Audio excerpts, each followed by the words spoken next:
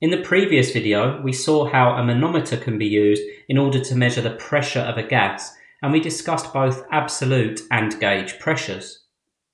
In this video, we're going to look at another application for U-tube manometers, and here we actually have an inverted U-tube manometer. Now this particular device here is going to be used to measure the change in pressure of a liquid flowing through a duct. Now, this might be used to measure a pressure loss as water flowed through a valve or an orifice. Or in this case, it can be used to determine the change in velocity of the fluid as it goes through the converging section of the pipe. And we'll see some various other applications of these when we begin to look at Bernoulli's equation in later learning outcomes. Now, in order for this device to be effective, we need to make sure that the height of the manometer at position 1 is equal to the height of the manometer at position 2. And the best way to do this is to ensure that they're both sitting on the centre line of the pipe. The reason behind that is because the flow of the fluid is going to be fastest at the centre. And again, this is a principle we'll discuss in later learning outcomes. But in actual fact, what we would have, if we were able to see the variation in velocity of the fluid, is at the two walls, the velocity would be zero, and the velocity would be maximum in the center. So we get a flow profile that looks something like this. To help you to visualize this, imagine you're standing on a bridge and you're looking down into a flowing river. The water at the center will be traveling much faster than the water at the outsides. And in actual fact, because the water at the outsides may actually be static, there may even be stagnation of the water at the two banks. So we need to make sure our manometer is at the same height, both before and after the converging section.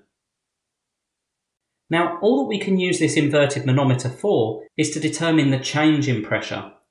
Because we don't know the pressure of the water entering the pipe, and we don't know the pressure of the water exiting the pipe. But this type of device would still be useful in various different heating, ventilation, and air conditioning applications.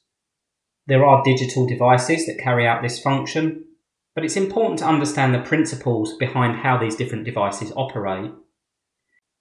Now the calculation for this is very straightforward. The change in pressure equals density times gravity times height once again. Now as we said we have water and the density of water is 1000 kilograms per meter cubed. And let's specify that the height difference here is 1.8 meters. Therefore, the change in pressure is just 1000 times 9.81 times 1.8, which equals 17658 pascals. The other thing that's important to point out is the pressure in the wider section of the duct is actually higher than the pressure in the narrow section.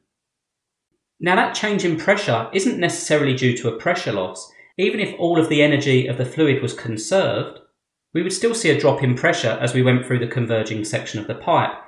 And the reason for that is because the velocity of the fluid increases. So on the left hand side, we have high pressure and a lower velocity. And on the right hand side, we have a lower pressure and a higher velocity. And in future tutorials, we'll look at how we can calculate the changes in velocity as well as the changes in pressure. So it's important to understand that these devices do have various different limitations. We can see in this scenario as an example, we have a height of water equal to 1.8 meters. So what we would have is a very large U-tube manometer. It's by no means a portable device. It would be very difficult to move this from one location to another. Another limitation might be thermal expansion, because as liquids become hot, they would expand. A good visual representation of this would be mercury in a thermometer. As the temperature increases, the mercury expands, and the mercury moves up the capillary within the thermometer. Another limitation that makes these devices relatively hard to read is if the pressure difference changes, then both of these levels would change. If the pressure difference increased, then the level on the left would go up and the level on the right would go down. So because we don't have a zero line or a datum, it can be quite difficult to read this type of device. And finally, we've said that we often use mercury in these devices because it's a high density fluid and can be used to measure greater pressure differences. But a disadvantage of using mercury is that it's harmful or toxic, so we do have to take quite a lot of care not to damage these devices. And as they're primarily made from glass capillaries, they are still susceptible to damage.